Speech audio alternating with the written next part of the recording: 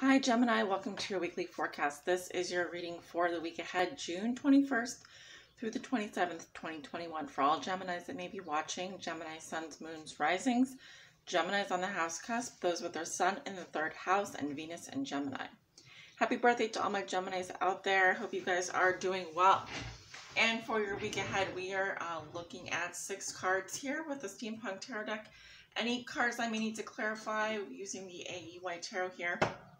And then uh, just as a bonus at the end of your reading, we're going to see what zodiac sign of importance you may be dealing with over the next week and what kind of interaction might you be having with this person with that zodiac sign. It could be positive or negative. We'll also look at what kind of interaction you might be having. So Without further ado, guys, just as a general disclaimer, these are general readings. Of course, they do not resonate with everyone. As I always say, for the most accurate reading with the most accurate outcome, please come get a personal private tarot reading from either me or your favorite tarot reader out there. And any information you may need um, is below in the description box below this video, including my website scheduling page and a Groupon link for 41% off any 30-minute live reading. Uh, so go ahead and check that out if you're interested. Don't forget to like, share, comment, and subscribe. Let's go ahead and jump into it. Gemini. Spirit, show me six cards for Gemini's week ahead. All Geminis that may be watching. Gemini suns, moons, risings. Gemini's on the house cusp. Those with their sun in the third house and Venus in Gemini. Show me six cards for Gemini's week ahead. What does Gemini see themselves today? What is the theme for them over the next week? June 21st to 27th, 2021. What is something Gemini has learned in the past that be useful for them to remember this week? A challenge they may be facing. A lesson they are learning now. And you give, they will receive. Two more shuffles here. Gemini, please. One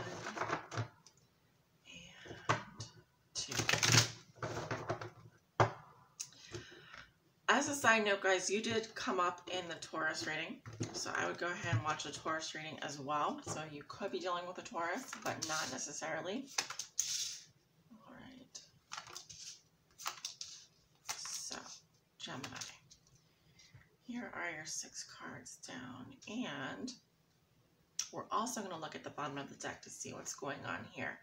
Okay, we have the Fool. So a new beginning. Some of you are dealing with an Aries I see long-term security and happiness with an Aries here. Or I'm seeing a new beginning in a long-term relationship. This could be a marriage or a family, someone you are. I'm definitely seeing a marriage here or a long-term relationship. I'm definitely seeing a new beginning. All right, some of you are going to be taking a trip as well this week. Um, there's just this, I'm getting this new life, new beginning, just sense of freedom, sense of, you know, wonder, exploration. Also, for me, the Fool in the upright position represents hope and faith. Trust in the universe.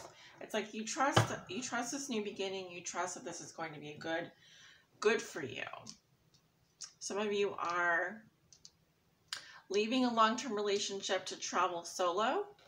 Okay, some of you are taking like a business trip or a short trip this week. Would be good as well. I do recommend that. So let's see, uh, Gemini, how you see yourself today. We have the Emperor in reverse, Aries, Taurus, Leo energy. So this could be, I could be reading for a masculine or someone who is in their masculine energy, regardless if you are a feminine or a masculine watching. Gemini, how do you see yourself today, there could be a lot of chaos in your environment. Uh, this could a feeling of maybe things being, you know, people not like following the rules, uh, stepping on your toes. Um, this is a feeling also of maybe, you know, feeling out of control or needing to control other people. Um, it can be an abusive controlling energy. I'm also getting someone here is hopping mad. Someone here is like really have feels um, like they are about to lose their temper here. So, um, others of you here I would just watch out with the controlling behavior. Okay, this could also be here. Uh, someone has uh, enraged you for some reason. The Emperor is a boss, though, so this I feel like I could be reading for Gemini here, who um, is in a high position in society or has, you know, they feel someone here feels like they have uh, lost control of an unmanageable situation. In other words, there's a lot of chaos surrounding this and a lack of boundaries. So let's see, the theme for you over the next week is the lovers in reverse. There's the Gemini. So you are dealing with a Gemini. So here I'm seeing a split happening. Um, I'm hearing a karmic split, karmic breakup. You may have recently broken up with your twin flame, your, your soulmate here. I'm definitely getting a soul connection, a soul tie. This usually for me indicates unrequited love or the chemistry in the relationship, harmony in the relationship constantly fizzles out. So you may really um, be taking a break from this person, this Gemini, or may really feeling like um, there's no hope. Uh, you guys have unrequited love, or there's uh, taking a separation. I'm getting a separation here. But Gemini, it looks like, if I'm to be perfectly honest here, um, someone here is um, has the ability to stay in control, to observe their boundaries, and to uh, step up and lead a situation forward, but maybe failing to do that. This could be you. What do you want to do with this person? Okay, I'm definitely seeing a major split and major decision here. Um, for some people here, um,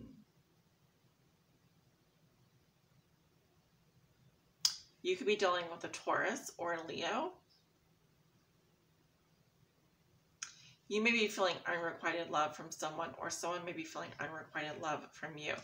Something, a lesson Gemini has learned in their past that will be useful for them to remember this week. Yeah, we have the Five of Swords, Aquarius. So, someone here was all about what they could get from a situation, causing defeat in the other person, one upping them.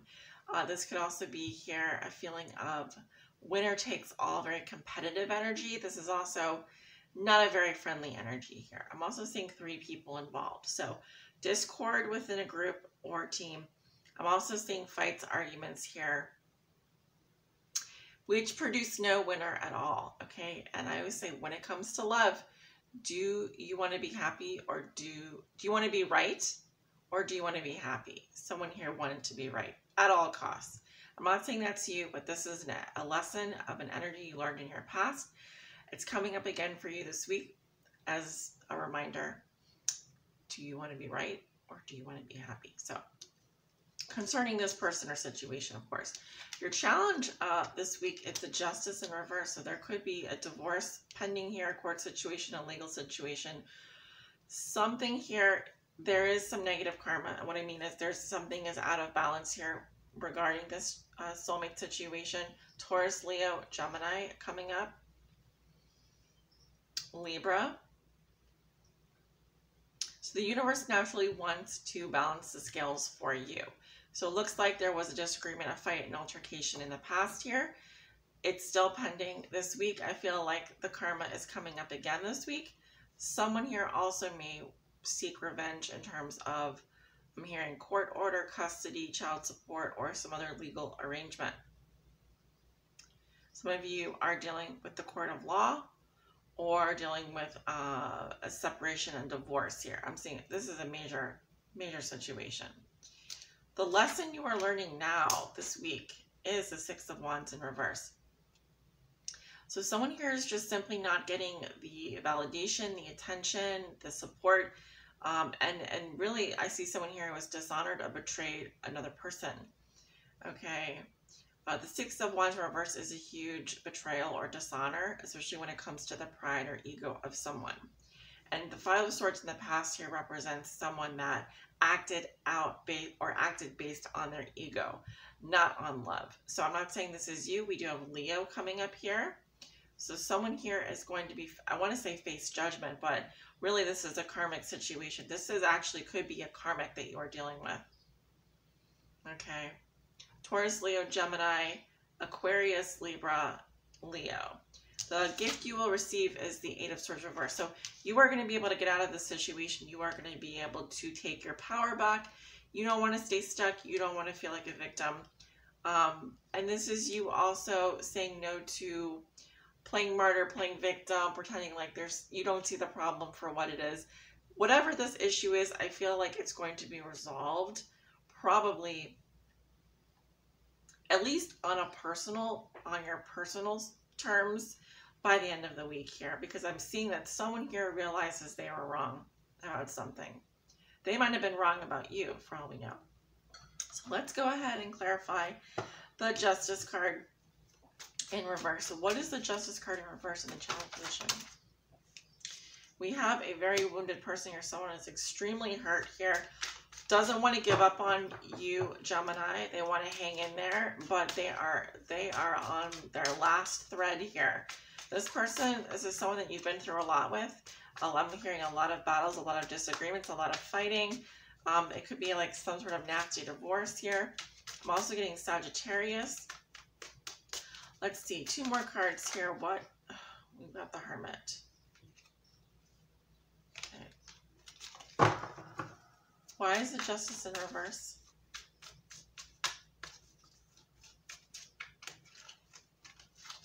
Why is the Justice in reverse in the challenge position?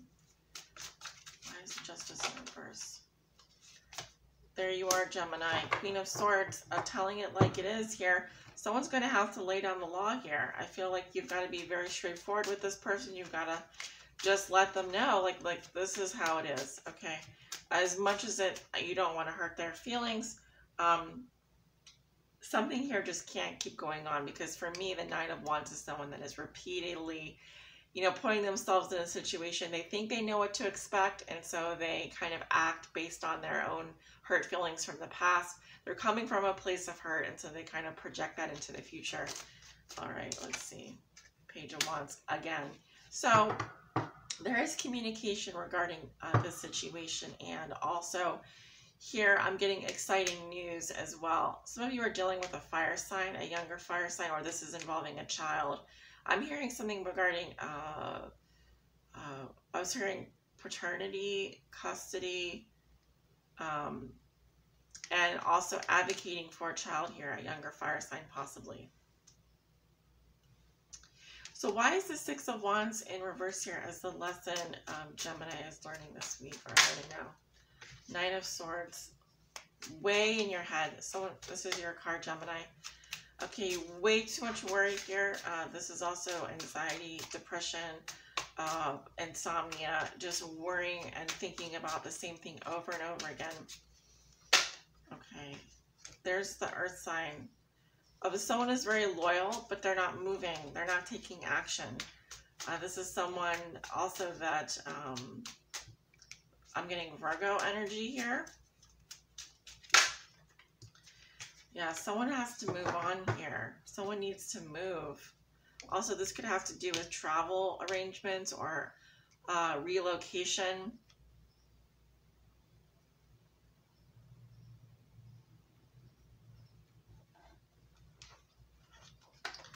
Let's see, at the bottom of the deck, we have the Strength card. So someone is holding back here.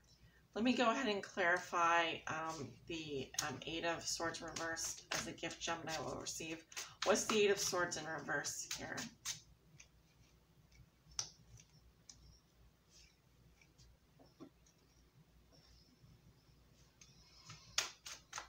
Why is the Eight of Swords in reverse? Why is the Eight of Swords in reverse? Someone's juggling. They have romantic feelings. Someone's really on the fence here. I do see an apology coming in, an offer coming in though. What's the, uh, what comes after the uh, Two of Pentacles and the Knight of Cups? What comes after the Two of Pentacles and the Knight of Cups? Okay. We have the World in reverse and the King of Swords reversed. Um, so there is some unfinished business here. I feel like, um, Gemini, this is your energy. You're the King of Swords in reverse. I feel like you're going to have to, I feel like someone keeps coming back here, trying to resolve conflict with you. Um, this may be involving a child or a karmic. Um, I'm also picking up Virgo here. I feel like this person is giving you, not giving you the attention you feel you deserve. And I feel like you're going to have to end up you know, cutting this person out, even if there is no closure. Because they keep coming back with the door open, and you can't keep leaving the door open for this person, is what I'm getting. So let's go ahead and see what zodiac sign is Gemini dealing with. Gemini, you're dealing with yourself. Okay, you could be dealing with the other Gemini. Who who is Gemini dealing with? Let's see. Any other any more cards? Uh, who is Gemini dealing with? Gemini dealing with another Gemini? Well, that would be interesting. Um, I highly doubt it though. Gemini dealing with themselves this week.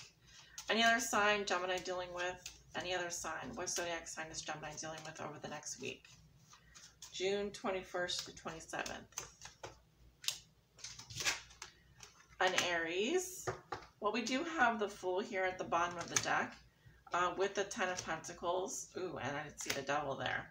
So, uh, in this order, this would be an Aries who could be a karmic uh, in the family, someone or in a long-term relationship with that wants a new beginning with you. Um, other than that, um, what kind of interaction is Gemini having with the Gemini? What kind of interaction is Gemini having with the Gemini over the next week?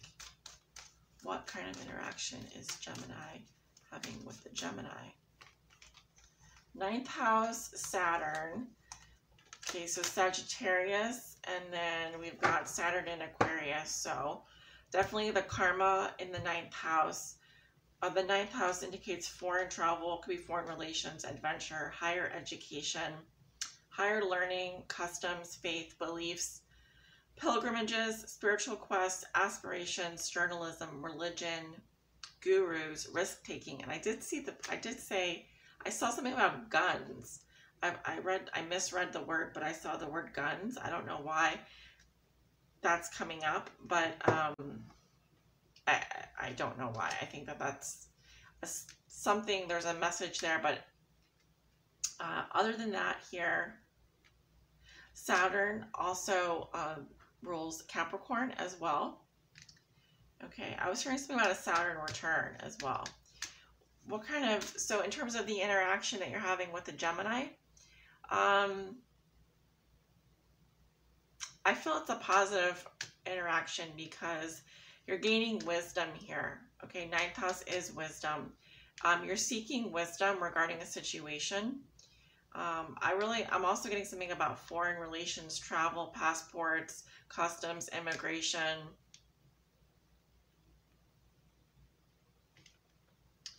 The, the aspect of adventure comes up here with the Fool. So the, I'm getting something about travel. Okay.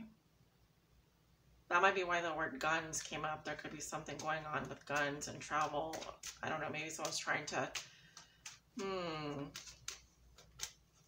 I hope someone's not trying to bring a weapon into another country. What is the interaction with the Aries this week? What is the interaction with the Aries, please? The moon. Okay. So someone could have an Aries moon, of course, but Aries is the radical. And so with the moon feelings here, I'm getting the Cancerian energy. So also, is the moon in Aries this week? No, because we just had it in Leo. Would it be already in Aries? So this is more of a neutral energy, but it's bordering on positive because the moon represents our instincts, our nurturing, our gut reactions, our feelings, our comfort levels, our digestion, our home, family, conditioning, habits, femininity, lineage, privacy, embodiment, emotions, sustenance, self-soothing moods, and mother. So I'm really also getting exploring your needs, your emotional needs, what makes you feel secure, in a relationship as well. I'm also getting something about mothering and mother instinct, like your instincts are kicking in, especially if you are a mother. I'm also I was also picking up gut reactions here. There's something that you're going to be feel inclined to do on a gut level, and I'm getting listen to your instincts, okay? So this is a very interesting reading. Um, a lot of um, sort of moving parts, moving pieces here. And um, I'm definitely getting, I'm picking up foreign travel, foreign relations, Sagittarius. Uh, we have the Aries here. There's an adventurous energy as well. Okay, I feel like something is gnawing at you regarding it could be a trip or an adventure. Listen to your feelings. Listen to your instincts. I feel like there's a, a lesson you're going to be learning here. And a Saturn, Saturn are usually harsh lessons. Okay, if you you could have Saturn in the ninth house here, so there could be a, a harsh lesson here regarding also a mother as well. So Gemini, this is what I have for you over the next week. Thank you so much for watching. Have a wonderful week. Take good care of yourselves. I send you love and light. All right, bye.